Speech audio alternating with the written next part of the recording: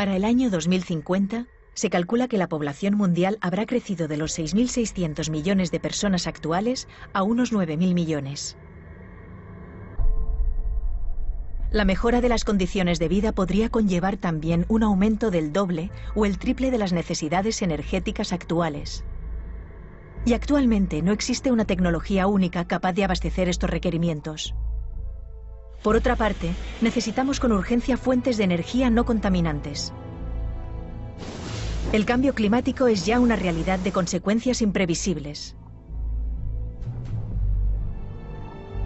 Ante esta situación de lucha contra reloj, necesitamos soluciones efectivas a gran escala.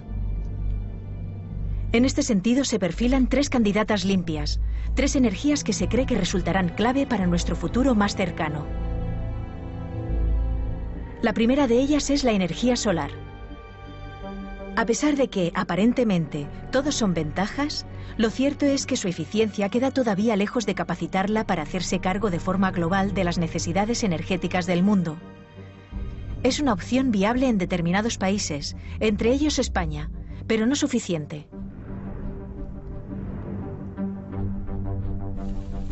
Otra opción que sin duda resultará importante es la energía nuclear constituye una manera segura de obtener energía libre de emisiones de carbono a la atmósfera, pero no cuenta con la simpatía de la gente debido al problema de la radiactividad.